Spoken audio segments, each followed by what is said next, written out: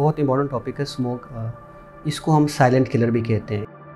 अब देखें अगर लाहौर के रहने वाले हैं तो उनको तो इस बात का ज़्यादा अंदाज़ा होगा कि हम वेल प्रिपेयर्ड होते हैं। जैसे हम सर्दियों की तैयारी करते हैं तो हम स्मोक की भी तैयारी करना शुरू होते हैं जी स्मोक आने वाली है। चौबीस परसेंट जो डेथ हो रही है हमारे ग्लोब में वो इन्वायरमेंटल पोल्यूशन से हो रही है। सो so, वो जो हम एक डिसऑर्डर शायद आपने नाम सुना हो मेटाबॉलिक डिसऑर्डर जो जो जो डायबिटीज़ रिलेटेड समझते हैं जो कार्डिक को भी डिस्टर्ब कर रहा है जो आपके ब्रेन को भी डिस्टर्ब कर रहा है जो आपके लंग्स को भी डिस्टर्ब कर रहा है इट्स लाइक दैट तो ये इतना सिंपल नहीं है कि आप सिर्फ़ इनहेल कर रहे हैं तो इसका ताल्लुक सिर्फ़ आपके इनहेलेशन के साथ ही है. सो so, आइज़ की प्रॉब्लम भी काज कर रहा है स्किन की काज कर रहा है स्किन का कैंसर का बायस भी बन सकता है लंग्स का बायस बन रहा है ब्रेन में प्रॉब्लम का सक, कर सकता है. अगर मदर ऐसे इन्वायरमेंट में ज़्यादा रहे तो उनके और वो प्रेग्नेंट हों तो उनके बच्चे जो हैं उनको भी प्रॉब्लम हो सकता है.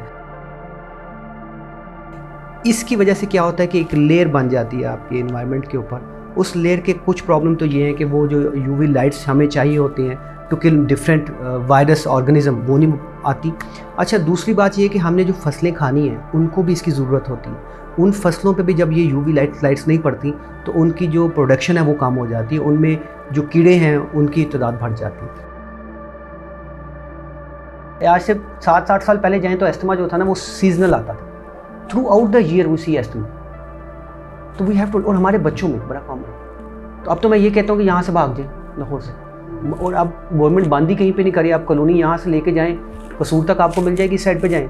उधर जाएँ तो ठोकर न्याज बेग तो ख़त्म हो गया, उससे आगे बन गया।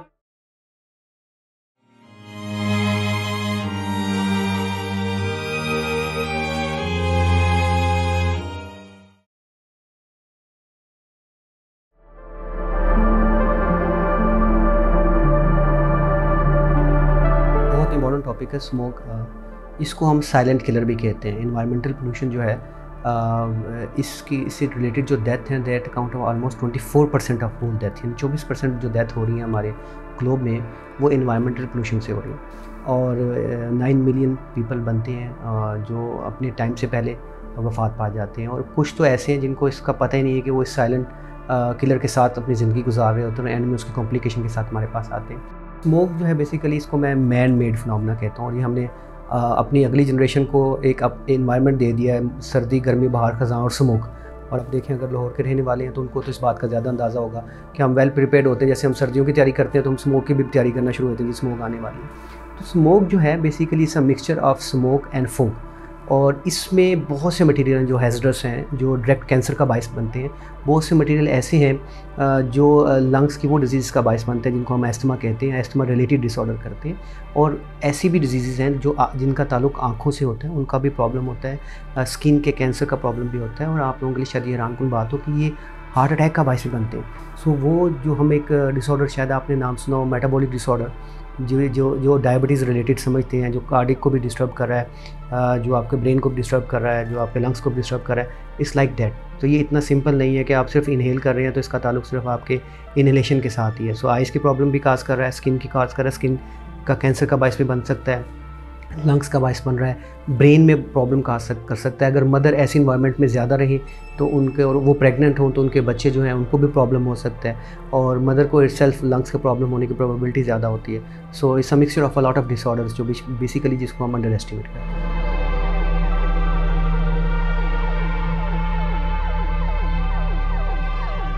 अच्छा जो स्मोक बेसिकली इसका डेवलपमेंट का एक प्रॉपर मैकेनिज़्म है। अक्सर लोग जिन में सवाल आता है कि ये सडनली uh, कैसे बन जाती? तो ये सडनली नहीं बनती। इसके लिए कि एक प्रॉपर टेम्परेचर चाहिए होता है। उस टेम्परेचर पे जो जो स्मोक हम प्रोड्यूस कर रहे हैं वो हवा में फोक के साथ मिक्स कर मिक्स होकर स्मोक बना देती है। इसमें बड़े मटेरियल शामिल होते हैं। इसमें particular matter which is very important और जो अगर आप अब नेट पे भी जाएँ तो आपकी वेबसाइट पे लिखा आ रहा होता है हेल्थ मेट्रोलॉजी डिपार्टमेंट पे कि पर्टिकुलर मैटर इतना जो कि मेजर टॉक्सिक है।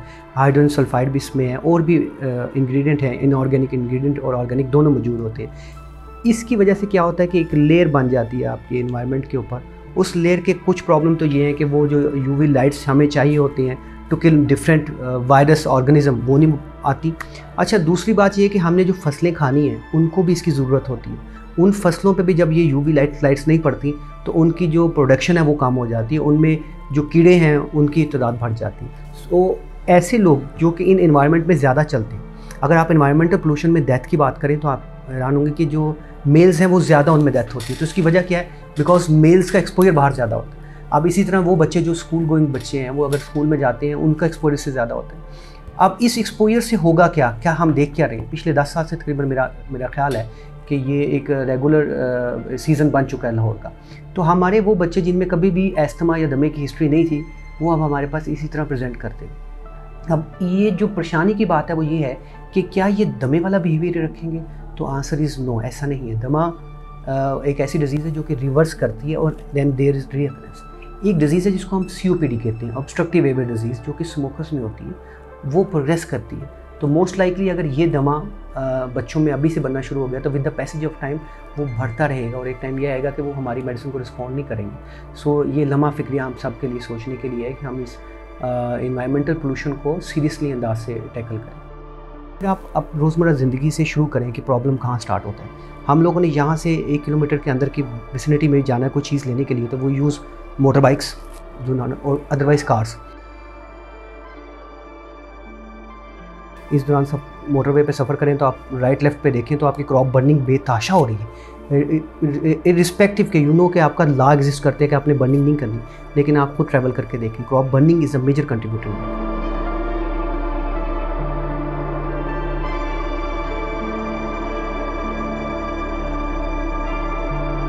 ज़्यादा गवर्नमेंट ने प्रेशराइज़ किया तो ऐसी फैक्ट्रियाँ भी थी जो सिर्फ़ रात को चलती थी।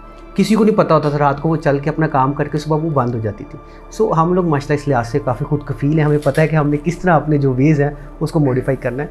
फिर बात है कि रिस्पॉन्सिबिलिटी नेशन की भी और गवर्नमेंट दोनों की है कि कंबाइन इस मसले को सोचें इसको अंडर एस्टिमेट ना करें।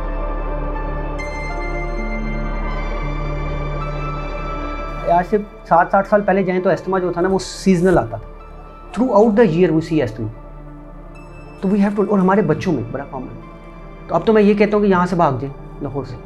और अब गवर्नमेंट बंदी कहीं पे नहीं करी, आप कॉलोनी यहाँ से लेके जाएँ, कसूर तक आपको मिल जाएगी इस साइड पे जाएँ। उधर जाएँ तो ठोकर न्याज बेग तो ख़त्म हो गया, उससे आगे बन गया।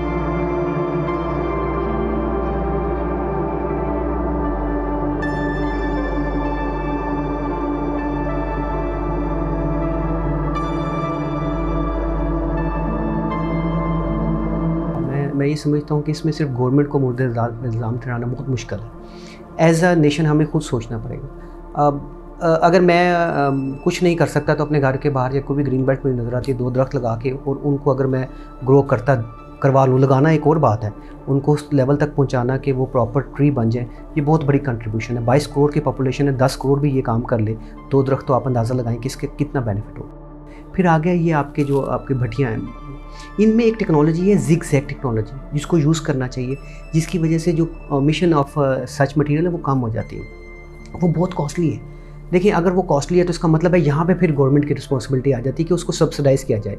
इनकी एजुकेशन की जाए, जो यहाँ पे लोग जो बंदे काम कर रहे हैं। और ये भी एक आपके लिए हैरानकुन बात होगी कि इसका भी एक महकमा एग्जिस्ट करता है।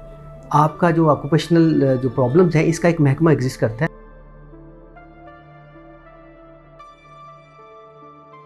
हमें भी अपनी रिस्पॉन्सिबिलिटी शो करनी है कि देखिए कोविड की वजह से एक चीज़ तो सबने समझ ली कि मास्क का बेनिफिट है। तो उस ज़माने में तो मास्क ग्यारह सौ के मिलते थे, अब वही मास्क जो है वो बीस पच्चीस के मिल रहे हैं। तो अगर वो ये पहन ले और वर्किंग टाइम पे ये पहन ले तो उसकी अपनी रिस्पॉन्सिबिलिटी तो पूरी हो जाती है, ठीक है? जो बट्टा लगा रहा है, उसकी अपनी रिस्पॉन्सिबिलिटी होनी चाहिए। ऐसे लोगों को जो इन फैक्ट्रीज में काम करें, उनको हाई रिस्क अलाउंस भी मिलना चाहिए। खुदा ने खास्ता अगर उनको प्रॉब्लम हो सो दैट वो उसको यूज़ कर सकें। इन लोगों की इंश्योरेंस भी होनी चाहिए सो दैट अगर कोई ऐसी डिज़ीज़ का शिकार होते हैं जो कि लंबी चलती है तो कोई ना कोई तो बेचारों को, फंड करे। प्रॉब्लम ये है कि बेचारे बीमार होकर हमारे पास आके बैठ जाते हैं और उनको आपको लॉन्ग टर्म ऑक्सीजन देनी पड़ती है। वो मशीन ही नहीं ले सकते और इसी प्रॉब्लम बेचारों की डेथ हो जाती है।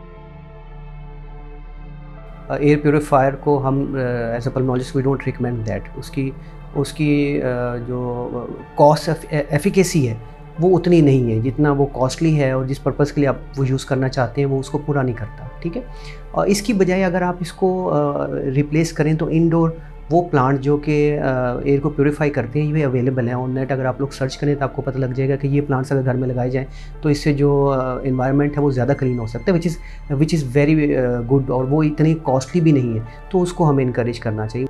चाइना को देखते हैं। चाइना इस पर बहुत काम कर रहा है बिकॉज़ वो, उसके जो मेजर प्रोड्यूट्स है, शहर हैं, चाइना हो गया, मलेशिया हो गया, इनके। उन्होंने बड़े बड़े प्योरीफायर लगा के भी टेस्टिंग की हुई है। बात कॉस्ट इफेक्टिवनेस की होती है कि आप इतना बड़ा प्रोजेक्ट कर रहे हैं एंड रिज़ल्ट क्या मिलता है?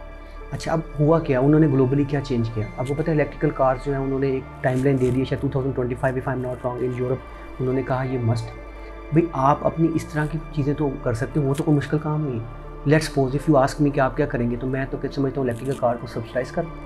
आप इलेक्ट्रिकल बाइक्स को सब्सिडाइज कर दें। इस वक्त लाहौर में आपको अंदाज़ा है कितनी बाइक्स चल रही हैं। और बाइक्स में कोई भी euro two euro three euro seven का कंसेप्ट नहीं है। वो पुरानी बाइक उठा के आप बीस हज़ार की बाइक को पाँच हज़ार लगा के आप दोबारा तैयार कर लेते हैं। सो ये काम तो मुश्किल नहीं है, ये काम तो किया जा सकता है।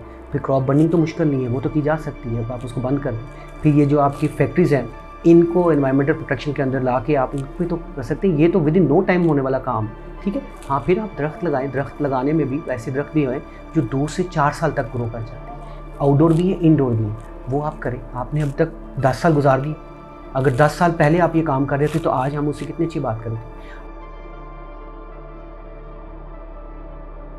ग्रेट वॉल ऑफ़ चाइना का ज़िक्र होता है किसी जगह पे आप कभी नेट पे जाके देखिए green wall of China China ने वो उनका डेजर्ट था गोभी डेजर्ट उससे बचाने के लिए ट्रीज़ लगाए। अब वो इतने ग्रो कर गए कि वो गोभी गोभी डेजर्ट जो है, उस, वो जो उनके एरियाज़ को खाना शुरू करा था, वो ख़त्म हो गया। सो ये सोचने की बात है ना। अगर हम ये सोचना शुरू कर दें कि जी, ये पता नहीं कब होगा, कैसे होगा तो टाइम ऐसे गुजरता रहेगा।